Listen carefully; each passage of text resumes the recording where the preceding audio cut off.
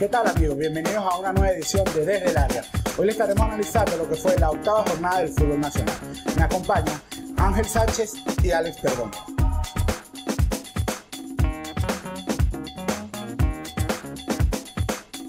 Primeramente, les estaremos hablando, analizando lo que fueron los dos partidos más importantes de la, jornada y que nos dejaron los dos punteros. Eh, Ángel, ¿qué opinas sobre el empate de, empate Caracas con estudiantes en el Olímpico? Bueno, buen empate para el conjunto académico, estudiantes de Mérida, consigue un valioso punto que hace que, que llegue a nueve puntos en, en la tabla, mientras que Caracas eh, ya son 19 unidades, comparte el liderato. Eh, el conjunto de Zaragoza se va amoldando al estilo que, que, quiere el profesor Eduardo. Y bueno, vamos a ver cómo sigue el, transcurriendo el Caracas. ¿El equipo de Zaragoza está con este empate?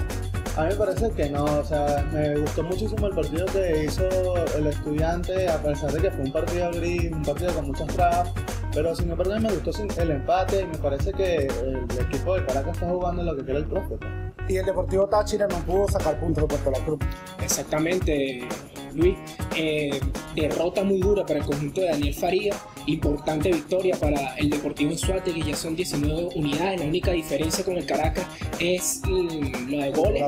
Y bueno, eh, muy importante lo que se está viendo en el equipo oriental, a pesar de los problemas económicos que se están viviendo, están dando la cara. Y ahora, eh, en el partido de la jornada, como era Carabobo Minero, ¿qué, ¿qué, les parece esta goleada? ¿Fue una sorpresa por parte de Carabobo? Mira, para, para muchos fue una sorpresa, pero es algo que ha venido jugando Carabobo, que está incrementando el buen fútbol, el buen funcionamiento el manejo del balón, la buena, el, el, el, buen momento que está pasando el Chispa Nova, el buen momento que está pasando el uruguayo Pablo Olivera. Y el partido de el partido de Minero no lo sorprendió, no estuvieron como muy estancados, o fue que les pegó la presión a un estadio lleno.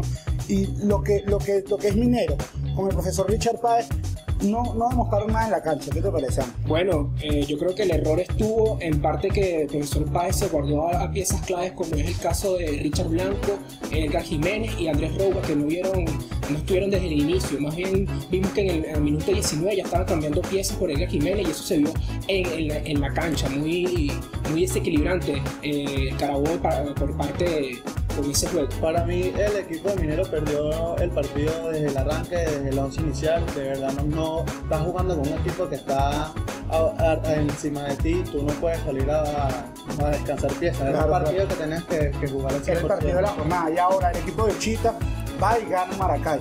Sigue a buen paso, va por los líderes. ¿Podrá ir por los líderes?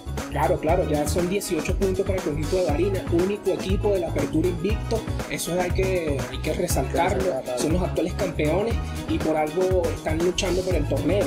Este, también resaltar rápidamente que en el Aragua fue el debut del profesor Raúl Cavalieri después del despido de Carlos Fabián Maldonado.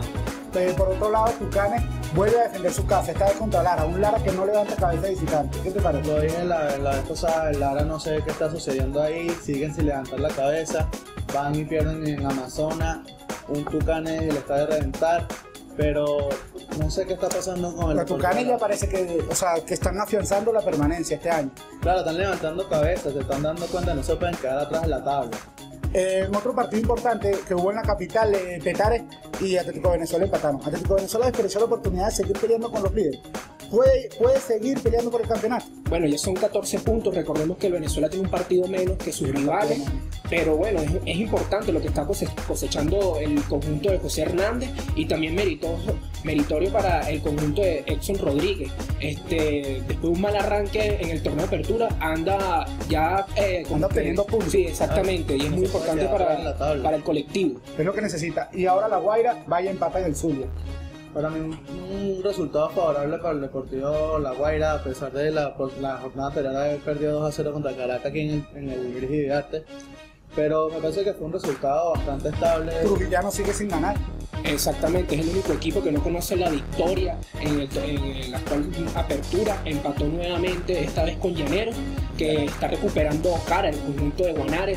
De, de, esos problemas económicos, está pegando fuerte, pero son muchachos, hombres que están dando la calle en Batallón Santo. No, y que tenga tres, tres jornadas seguidas sin, sin conocer lo que es la derrota. Vigía ganó, pero no termina de gustar, a la, la afición no está yendo al estadio. ¿Qué pasa con Vigía? Bueno, Vigía ya era hora que ganara, más bien esta victoria fue, fue muy importante para el conjunto platanero, no ganaban desde la primera jornada, así que, que fue muy, muy gratificante este, estos tres puntos. Estos tres puntos. Contra Llané, contra Bueno, eh, el resumen de la jornada se puede decir que Caracas continúa siendo el líder. Dance, a pesar de no tener una plantilla muy competitiva o de grandes nombres, está llegando, está, está en su mejor momento futbolístico. La próxima jornada veremos partidos muy interesantes como la visita de Caracas a, Minero. Y bueno, eh, Luis, hasta de despedirnos, eh, por ahí está sonando el rumor de Rodrigo Piñón ya no sería técnico de Llaneros, entonces vamos a ver cómo transcurre esta noticia en la semana y bueno, les estaremos informando a través de www.meridiano.com.de. Ángel, el jugador de la semana. Bueno, para mí fue Pedro Ramírez, el mago, el jugador del Zamora, celebró su convocatoria a la Vinotinto, la selección de mayores, con par de tantos contra el Aragua, así que para mí es el jugador de la semana. Luis. Robert Hernández, el jugador de Anzuate y gran partido ante el Dan, un muy buen gol. ¿Y para ti? Yo me quedo con Pablo Olivera, marcando dos golazos del uruguayo. Está viviendo su mejor momento en el torneo. Ya son nueve tantos para él. Nueve tantos. Bueno, con esto eh, culminamos una nueva edición de Desde el Área, eh, eh, invitándolos a visitar eh, www.meridiano.com.be para más información del fútbol nacional.